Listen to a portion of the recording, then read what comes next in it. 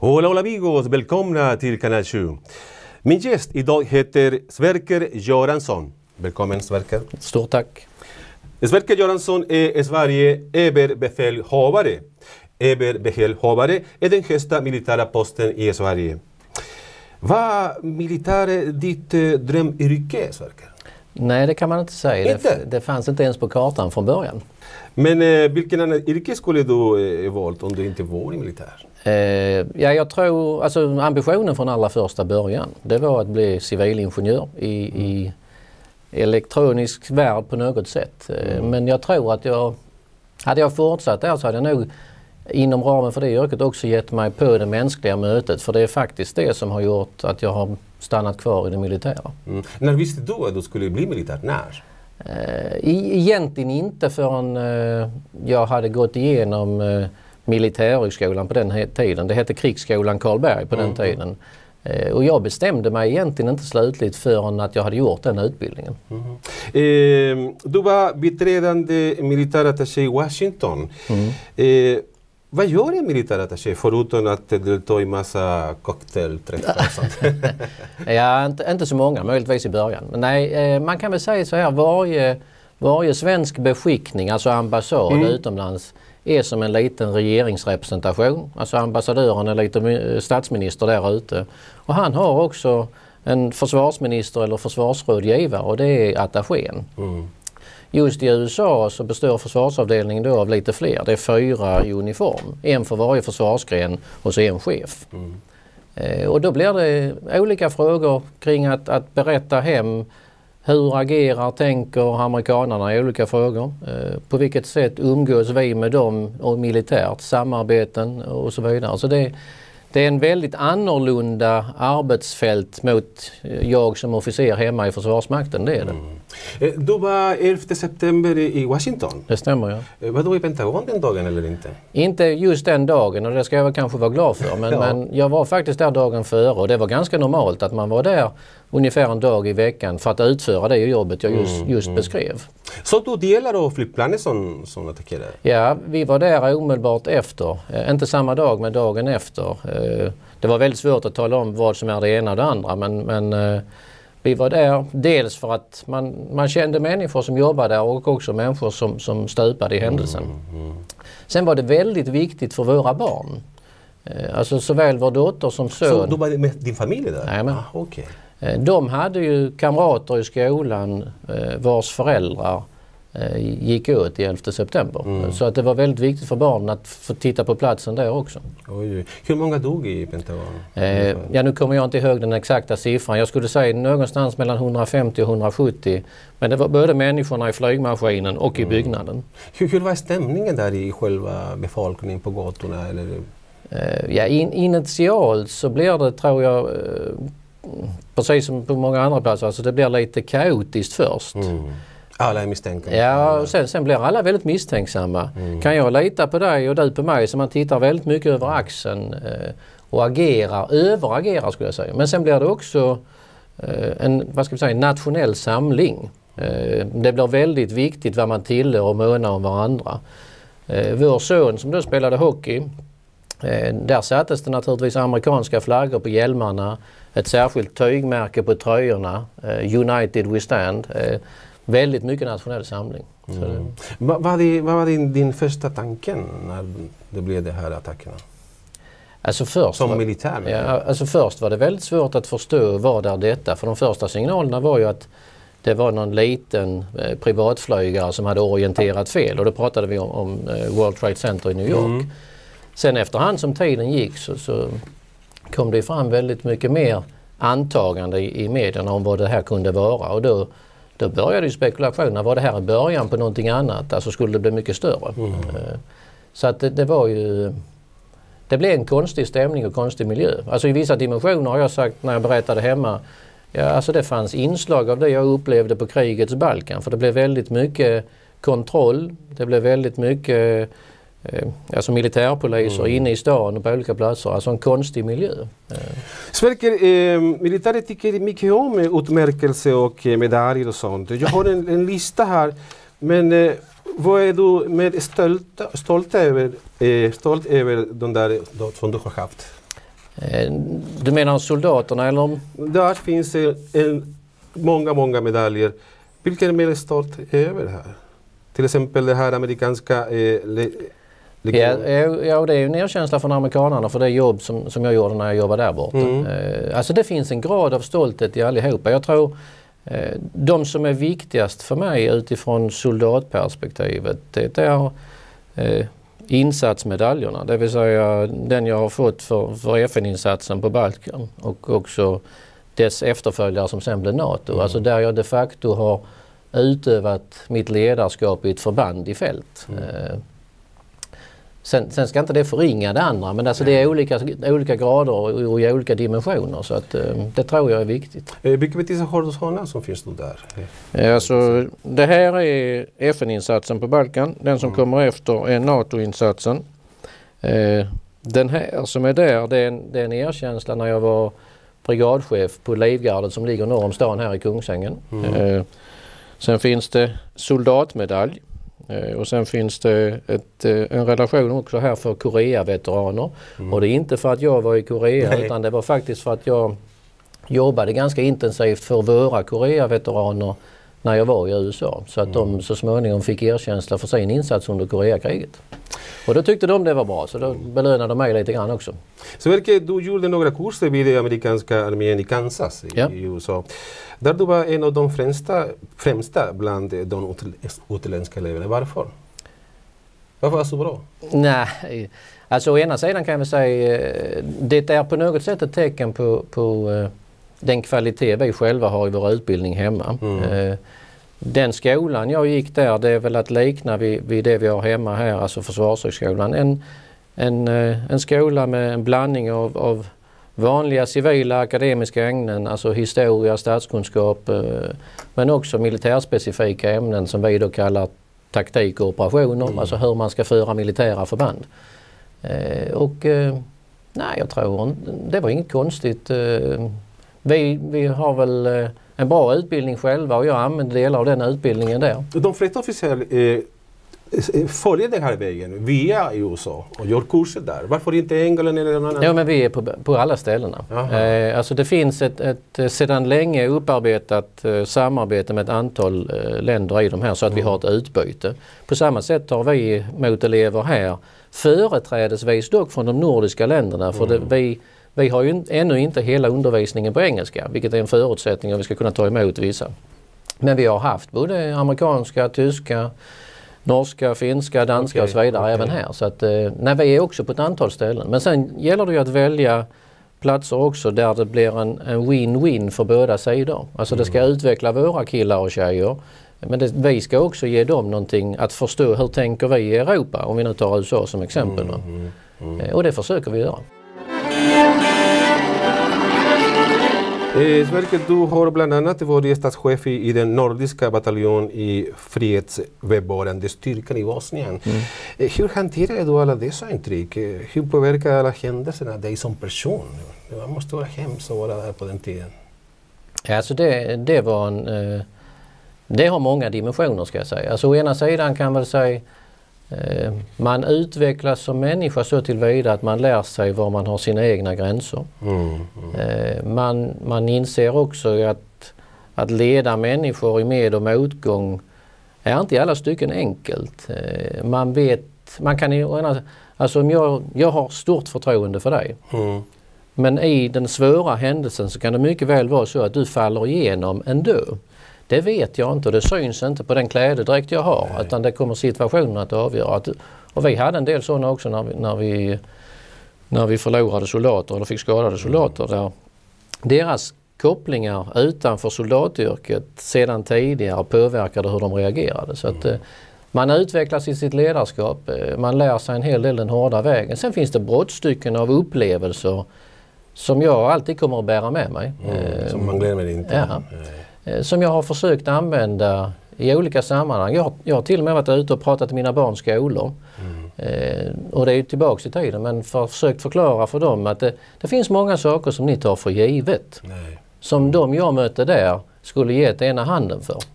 Mm. Och så är det på många andra ställen i världen också. Men jag tror det är nyttigt för, för en hel del av, av svenska ungdomar att förstå att eh, de har det ganska bra. Mm. För att uttrycka sig milt. Sverker, att vara eh, överbefälhavare, räknas eh, det som en, eh, ett politiskt uppdrag? Nej, det, det, alltså det, det är riksdag och regering som styr Försvarsmakten men jag mm. är i svensk statsförvaltning myndighetschef så det är inget politiskt uppdrag. Mm. Men eh, vilken förhållande finns mellan regeringen och svenska armén?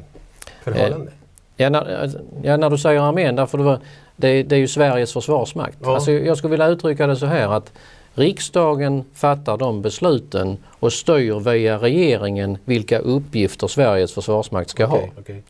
Eh, och sen fördelar jag det inom Försvarsmakten mot armén, flygvapnet och marinen. Men i grunden utifrån vad riksdagen har beslutat. Mm. Eh, så det är inte på något sätt Sverkers fritt valda arbete utan jag verkställer det som de vi har röstat fram styr oss med. Mm. Eh, så att det, det, är en helt demokratisk ordning i det avseendet. Sen, sen försöker jag ju tillsammans med min, min personal att ge också ett råd till regeringen i olika fackfrågor. Eh, och jag, I de flesta fall så tycker jag att de lyssnar. Sen är det därmed inte sagt att de alltid gör precis som man föreslår. Men, men eh, jag förväntar mig där alltså i ett professionellt utbyte att de åtminstone ska lyssna på det militära rådet. Mm. Vem är din chef? Eh, jag, alltså I arbetande formell mening så är det försvarsministern men riket styrs ju av regeringen. Mm. Så att, kan du sitta Kevaresverker om, om, som general om Lars Ohly blir försvarsminister? Alltså, I grund och botten är jag ju utsedd av, av regeringen. Ja. Eh, så att eh, är det så att de har fortsatt förtroende för mig så har jag ju, det förändras ju inte för myndigheten Försvarsmakten i den relationen. Det bygger inte på en personlig relation. Ah, okay, okay, så att eh, vi får väl se. Hur är dina kontakter med oppositionen då?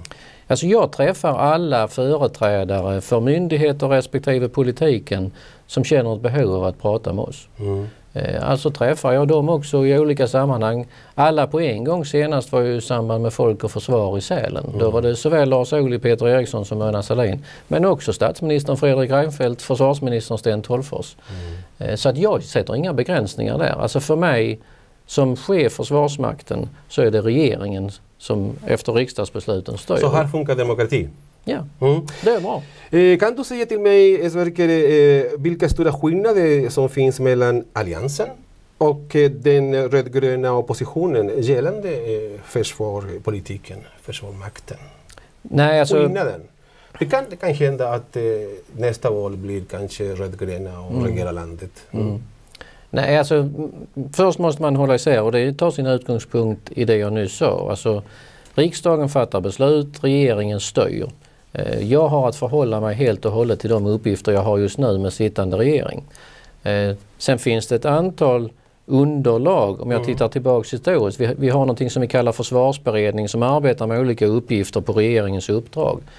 De lämnade en rapport eh, så sent som, som föregående år med delar av det innehåll som vi nu arbetar efter. Och, och det var huvuddelen av riksdagens partier som var med där. Mm. Eh, och eh, Mona Sahlin uttryckte ju i, i, eh, i Sälen att, att Försvarsmakten behöver långsiktighet och lugn och ro. Så att jag hoppas att det ska, liksom, oavsett vem som är statsminister eller regering, att det är den linjen som ska gälla. För det är Sveriges försvarsmakt mm. och den, den behöver ju följas eh, utifrån svensk... Det är en nationell sak. Ja, det, det är inte jag. på en parti... Nej, alltså man skulle ju önska sig att det här egentligen följde en, en mycket bred väg alltid. Mm. Sen inser jag också att, att ja, det kommer att vara nyanser i det här. Men, men, eh, så att jag koncentrerar mig på att lösa den uppgift jag har just nu. Men vem, vem, vem vill spara mer eller mer? Eh, Moderaterna eller, eller Socialdemokraterna? Ja, alltså just nu i de resonemang som har varit så, så har har ju eh, oppositionen uttryckt att de vill spara mer. Mm. Men eh, alltså, jag säger igen, jag löser uppgiften som jag har nu. Kommer det en diskussion Men du har också egen opinion? Eller? Ja, ja absolut.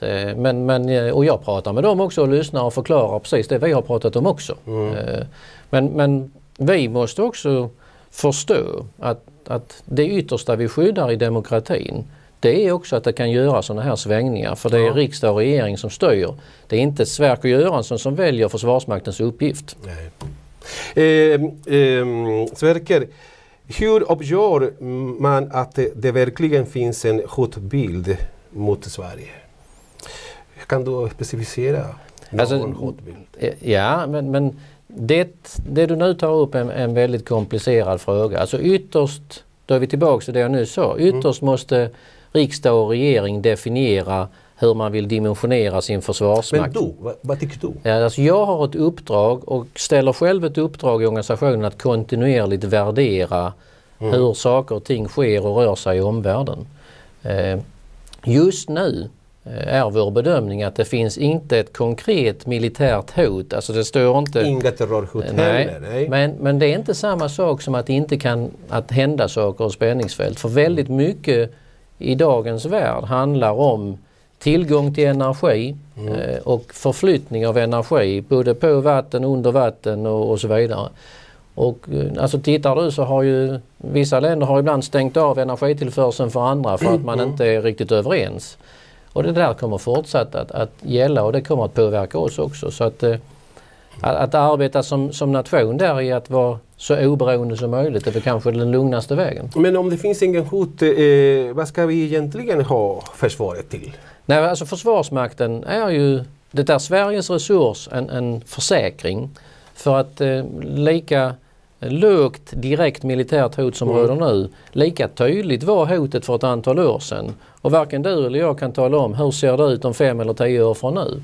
Så då, då är Försvarsmakten en, en garant, ett verktyg för riksdag och regering Ja. att försvara svenska intressen som inte nödvändigtvis behöver vara här hemma.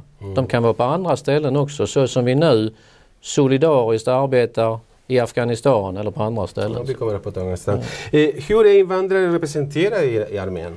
Eh, alltså Om armén ska spegla samhället, Mm. hur invandrare är representerade i armén? det är för dåligt idag. Eh, men det är också en frukt av att eh, under en lång följd av år, alltså kraven är ju och har varit eh, eh, svenska språket, svenskt medborgarskap och så vidare. Och det börjar sakta vända. Men om, om jag går in och gör ett tvärsnitt just nu Mm. så, är, så är antalet alldeles för lågt. Och det måste vi göra någonting åt. Mm. Och vi arbetar med den frågan också. Eh, så att, Men generellt ska invandrare kunna anställas på känsliga poster i den svenska armén? Det är en känslig fråga. ja men alltså det viktiga är ju Att vara svensk medborgare. Ja, och, och i grunden eh, den kompetens som du eller jag har och för in i systemet. Mm. eh, Så är du svensk medborgare och, och har rätt kompetens och är duktig så spelar ju egentligen inte varken att du har mustasch eller hudfärg. Nej men alltså Ja. det spelar ingen roll. Det är, det är Ja, det är förmågan hos individen. Va? Eh, Så att det, det tycker inte jag är något bekymmer. Och jag menar, så arbetar ju vi i, värdegrundsfrågor också. Mm. Alltså jag är ute just nu och talar på alla förband. Senast igår var jag i Linköpings garnison och pratar om alltså kön, religion, hudfärg spelar ingen roll. Det är kompetensen och kvaliteten hos oss som människor som avgör. Samtidigt så säger jag Ja, då, men, men, men, men det kommer ta tid att komma dit. ja. Absolut. Mm, Men, men jag, jag är helt övertygad om att det måste vara grunden. Eh, Okej. ehm, Det är ju det vi försvarar ytterst. Ja, Men, ja. Den mänskliga möjligheten. va? Tycker du att eh, man måste slåss för frihet? Tycker du att eh, slåss för frihet är den finaste man kan göra? Nej, nej, jag skulle uttrycka mig så här. Alltså, jag tycker eh, man måste fundera på vad som är värt att stå upp och försvara. Mm. Eh, Jag påstår alltså våra fri och rättigheter, vår demokrati och möjligheterna, det är värt att försvara. Är det Ja, någon som ja, försöker ja. liksom bryta i sönder det så är jag beredd att stå upp för det. Eh, Och egentligen att göra det solidariskt. Jag menar Sverige, ett litet land, men det är faktiskt så att vi är en, vi är en lagmedlem i Europa. Ett Europa som vill vara en lagmedlem. hur, hur påverkar Sverige ett litet land i hela de stora makterna som finns? Ja, alltså jag påstår ju att det, är inte antalet människor eller storleken geografiskt som avgör, för vi har också en röst i det sammanhanget. Eh, och, och det är ett sådant exempel när, jag har mött min, min eh, amerikanska kollega. Eh, Mm. Så säger jag till honom att ni måste lyssna på oss också, vilket de gör. Eh, men jag menar, och det är ju inte att de är 285 miljoner invånare och vi är 9. Det är inte det som avgör. Utan vi är, vi är kloka och, demokratiska människor vi också som är värda att lyssna på. Det uppfattar jag att de gör och det färgar från deras administration och ner i den militära strukturen. Mm. Kanske mer idag än tidigare. Eh, Sverker, eh, vad har svenska soldater i Afghanistan att göra? Där är ju ett exempel på det vi nyss nämnde, alltså att, att solidariskt hjälpas åt för att skapa och ge det afghanska folket möjlighet att ha ett fungerande land. Mm, En afghansk demokrati. Jag betonar alltid afghansk demokrati för jag tror att många svenskar eh, sätter ett likhetstecken med att demokrati ska se ut precis som det gör i Sverige. Det tror jag inte utan det finns nyanser och skillnader. Okej. Eh, och idag är det ju så att det är ett land som är väldigt sönderslaget av, av krig under långa tider. Väldigt många människor som inte kan uppbära sin egen existens ekonomiskt. Mm. Väldigt många av dem använder narkotika och andra former av kriminalitet för att kunna försörja sin familj. Kan vi hjälpa till att vända det och få ett fungerande samhälle så kommer vi därmed att strypa kriminalitet och narkotika som idag vi ser på våra gator här i Stockholm. Eh, Så att då, genom att vara solidariska och hjälpa dem så hjälper vi oss själva. Vi tar alltså bort delar av narkotikan på våra gator här. Vi hjälper våra barn och barnbarn. Och dina med. Ja. Men är det vettigt, förnuftigt, klokt eh, att Sverige för varje krona i civilt bistånd till Afghanistan satsar tre kronor på den militära närvaron? Nej, det borde vara ännu mer civilt bistånd. Ja. Alltså de sakerna ska inte ställas mot varandra. För jag är helt övertygad om att den miljön som råder där ute, Mm. du kan inte vända och få ett fungerande demokratiskt Afghanistan om du inte skapar säkerhet också. Ja, mm. Eh, så att eh, senast när jag var pratade eller blev eh, på hearing i försvarsutskottet i november så hade jag en, en mycket bra man som har jobbat med polisfrågor i Afghanistan vid sidan om varandra. Vi sa gemensamt båda två, ställ inte de här sakerna mot varandra utan försök låta det militära bidra med säkerheten. Förstärk sen successivt den civila strukturen så att vi kan få fart och bygga upp landet. Det går inte att nolla den ena och tro att den andra löser sig. Mm. Det gör det inte. Alltså då, då skulle det här varit löst för länge sedan. Det finns organisationer som har jobbat i det landet i många herrans år. Mm. Men eh, hur ska man hantera Sveriges förhållande till NATO? Men, är- är Sverige under F FN eller NATO? Ja, alltså, det finns ett, ett eh, FN-mandat för insatsen i Afghanistan. Mm. Mm. Eh, en, en säkerhetsrådsresolution. Eh, sen har FN då låtit NATO leda insatsen militärt. Mm. Precis på samma sätt som man gjorde en, en bit, om du tar Balkan som exempel, där började som en FNs-insats. Sen bad man NATO ta över och leda och så gjorde NATO det. Och det är egentligen att, en liknande situation i Afghanistan. Nu Mm. leder den NATO. Men det är också så, här är det ju militära och civila strukturer parallellt och det är nödvändigt. Så du säger att det är värt att utsätta eh, våra soldater där? Jag, jag uppfattar ju att det, eller jag anser att det, det är ett värde att försöka få ett fungerande Mm, land där mm. ute för det är positivt för både afghanerna men också oss här hemma. Mm. Men eh, opinionen, eh, och åsikterna eh, går isär angående Afghanistan. Tage eh, eh, G. Peterson till exempel, före detta socialdemokratisk, socialdemokratisk eh, försvarsminister. Det finns ingen klart FN-mandat. Trupperna står under NATO-fält. Det är USA och NATOs krig. Vad säger du om det här? Nej, alltså, ja, det finns en, en, en, en FN-resolution och ett FN-mandat i grunden. Sen utövas insatsen av, av NATO. Men det är också så att alla länderna som bidrar i insatsen är med eh, regelbundet på möten, har synpunkter på hur det koordineras. Om, om jag tar det svenska området i norr så är det ett område där det är Sverige, Norge, eh, Ungern och Tyskland under tysk ledning. Och vi träffas regelbundet både på politisk nivå och, Ja. och försvarsmaktsnivå och resonerar detaljer. Så det är inte på något sätt att det är, one man show där ute, det är det inte. Sen, kan, sen, jag är inte det minsta motståndare till att man har en debatt i frågorna för det tycker jag är bra. Man måste debattera mycket mer. Ja. Mm, mycket mer tycker Eh. Och, och, och det är först när den debatten sker så, som de som inte normalt jobbar med det kan börja förstå vad de är det frågan. Mm. Alltså det jag försökte förklara med både ett fungerande land och för de fungerande inkomster så minskar narkotikan och det är positivt för oss här. Ja, ja, ja. Men, men sen, sen måste ju den, den diskussionen, där måste man ju tillåta sig hur mycket är vi beredda att betala för att göra det? Och då menar jag inte bara pengar men också i mänskligt liv. Mm. Så Sverige är inte, i krig? Nej, det, det råder... Det är nej. insatser. Nej, men alltså det råder en väpnad konflikt där mellan Mm. olika parter i Afghanistan. Men det innebär inte att Sverige som nation är i krig. Nej, det är fel. Men det råder en väpnad konflikt där. Så enskilda soldater som vi har där i förbandet, de, de hamnar i situationer som är väpnad konflikt. Ja. Alltså de skjuts på. Det händer. Ja. Mm. Mm. Eh, värnplikten, eh, värnplikten försvinner och istället man ska ans- anställa och rekrytera eh, proffssoldater. Vad kan du säga om den här frågan? Mycket viktig. Ni kommer att anställa ungefär 4 000. Eh, Om året. mm. Eh, alltså jag, Det här är en stor förändring. Det är en gigantisk förändring. gigantisk. Eh, Och det är en förändring som vi kommer att arbeta med under lång tid. Eh, Det är en helt riktig väg att gå. För om du reflekterar lite över det resonemang vi har fört nu att, att försvara Sveriges intressen på hemmaplan men också borta Mm. som till exempel Afghanistan.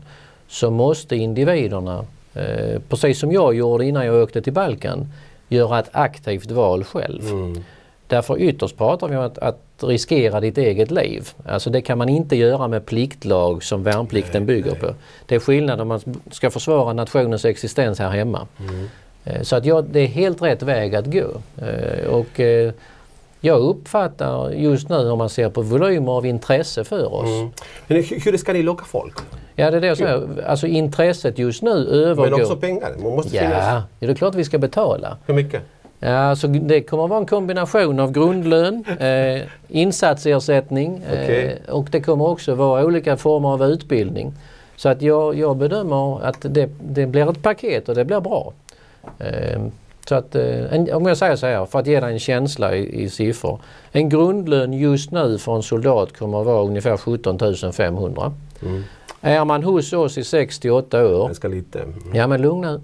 Är man hos oss 68 år så får man en genomsnittlig lön på 27 000 därför man får tillägg vid olika saker man gör. Mm. Så genomsnittet kommer att vara 27. Eh, och det tror jag faktiskt är ganska bra om du går ut och jämför. Tack så mycket, mi general. Ja, tack själva, mycket trevligt att vara här. Eh, ha det så bra, lycka till. Tack för det. Du tack är otroligt det. trevlig. Ja, tack för det. Ciao amigo, fortsätt att titta eh, på Hola, Hola Amigos. Hej då.